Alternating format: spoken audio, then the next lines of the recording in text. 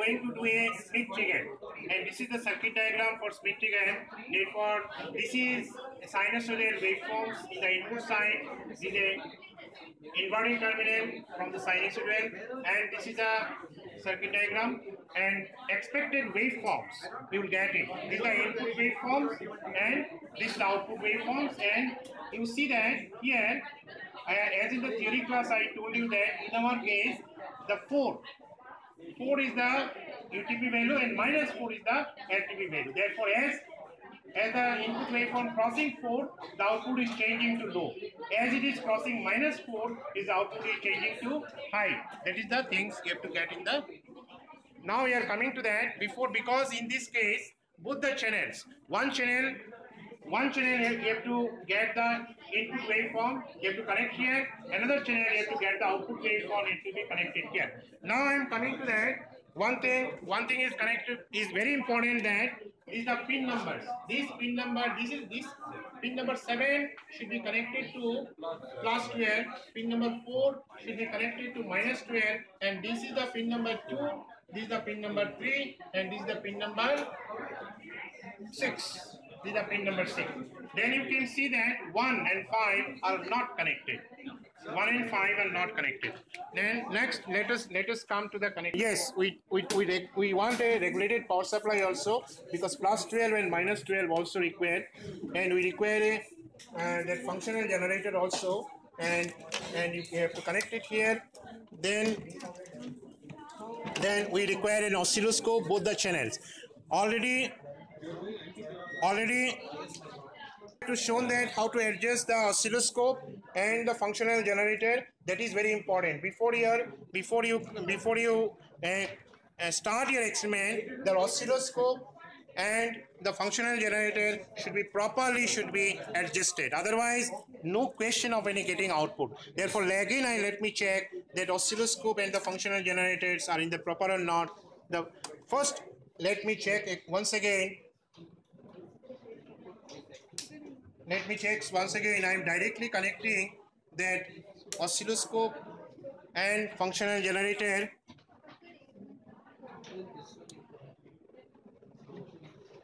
If you just put any place here that both the channels are there and I can connect any of the channels.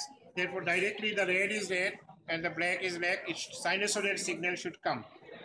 Sinusoidal sig- signal should come and sinusoidal signal you see that this is a big sinusoidal signal. You can make it smaller by this.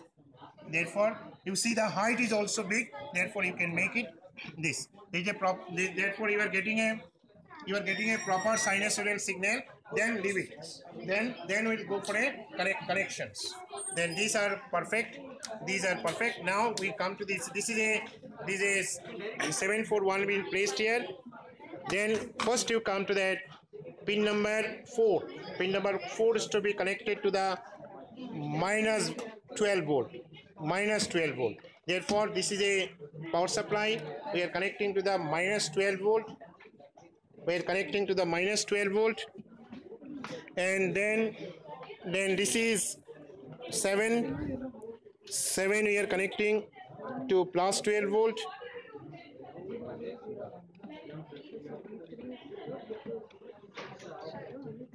we are connecting to plus 12 volt.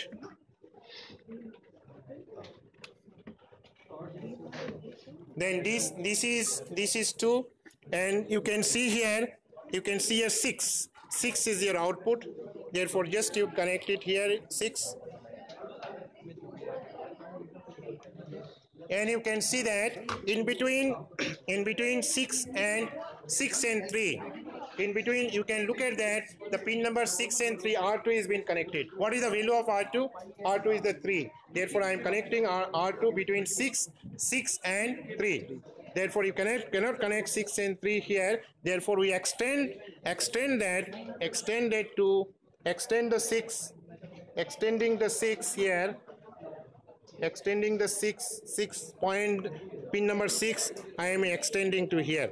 Because the resistance between this is the this is the 6 this is 6 this is also 6 because i am extending here and between 6 and 3 you can see 6 and 3 a resistance of 3 kilo ohm is connected.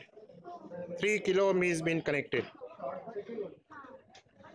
And you can see that in between 3 and ground, again another resistance is there and 2 kilo ohm because I don't, we don't have 2, 2 kilo ohm 2 kilo ohm uh, uh, in the lab. Therefore 1 kilo ohm 1 kilo ohm can be can be taken in series. Therefore from 3 from 3 therefore 1 in series another one it will become 2 kilo ohm 2 kilo ohm it has been connected here and that we are we are connecting here. And be careful that this is the pin number 1 2 3 4 pin number pin cannot be used other end should not be connected to the other pins. Therefore i am these are not allotted to the pins pin numbers. Are you clear? Therefore you, i can connect it here. Therefore one is connected to and that other end is going to ground. Other end will be going to the ground. Therefore this end other end will be going to the ground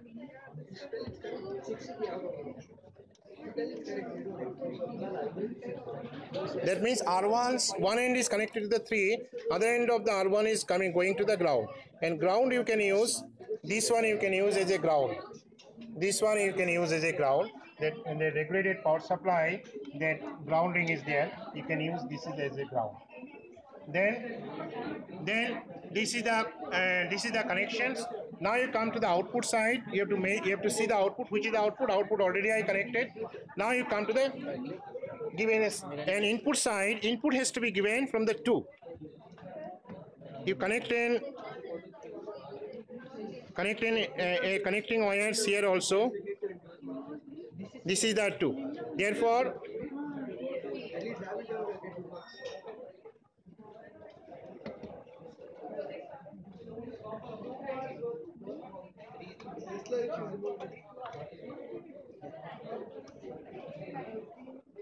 Therefore, two, I, where I will connect? Two, I will connect to the functional generator because sinusoidal signal will be given from two. Then other end will be going to the that grounding. Then you come to the, this is the input has been given here, but I have to, I have to input I have to see the waveforms, the input waveforms because input wave and output waveform both are required here. Therefore, wherever you connected the functional generator, the same place the red is connected to the red and the black is connect same place you connect to the black. Therefore, in therefore channel number one I am I am taking as channel number one I am taking as the input waveforms. The output waveform will be taken from the output waveform will be taken in the channel number two. Channel number two, uh, what is the output? Which, which, which is the output waveforms? Output waveform is the 6. This is the 6, therefore 6 is connected here.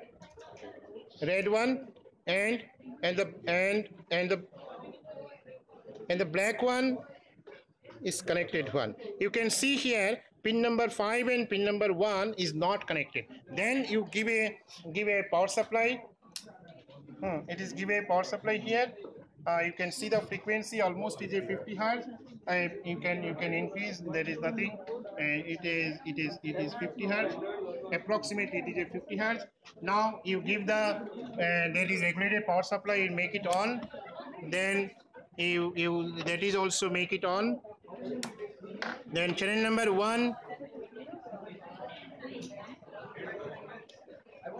Channel number one immediately you are getting you see the channel number one you are getting a red one is the channel number one. You are getting a sinusoidal waveform but the channel number two it is a big one. Therefore make it a make make this square waveform. Are you getting same type of waveforms? Are you getting as expected waveforms? You are getting here also.